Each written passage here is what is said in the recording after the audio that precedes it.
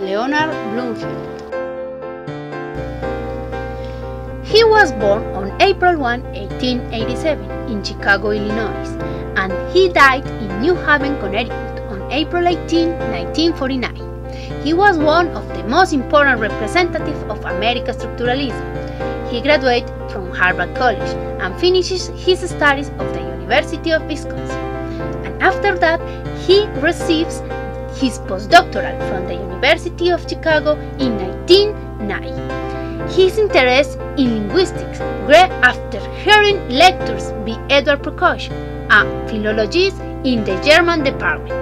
This experience turned him in an American linguistics was influence dominated the development of structural linguistics in America between the 1930s and the 1950s. In the 1914, he published his first main book, Introduction to the Studies of Language, dealing with the overall aspects of language. And in 1921, Bloomfield became professor of German and linguistics at the Ohio State University. Bloomfield served as professor of Germanic philology at the University of Chicago from 1927 to 1940. In that period, he published his master work, Language, 1933, through which he achieved wide fame.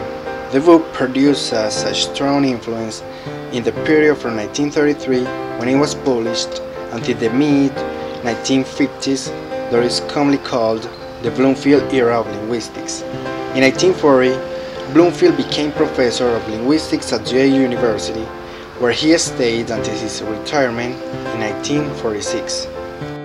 Contributions Structuralism proposes that many phenomena don't occur alone, but instead they happen in relation to each other, and that related phenomena are part of a whole with a definite but not necessarily defined structure. Leonard Bloomfield left his mark in the fields of morphology and syntax. He was a teacher and founder of distributionalism, leading to limit the dissociation of signifiers and meanings, all based on the work of Fernandin de Saussure, but strongly divergent from one another. The study of language for distributionalism consists of a group of statements which are used by speakers of a language at a certain period of time.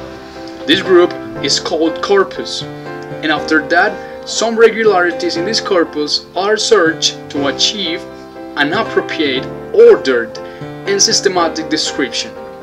Bloomfield's thesis in distributionalism affirms that linguistics has to limitate to describe the speech, the act of speaking, the language, and no other type of mentalist or psychologist consideration. He believed that we must study people's habits in language, the way they talk without bothering any mental process.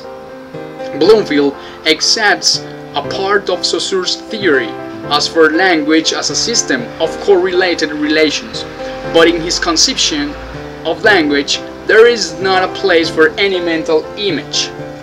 For Bloomfield, language starts with the phonetics and phonology.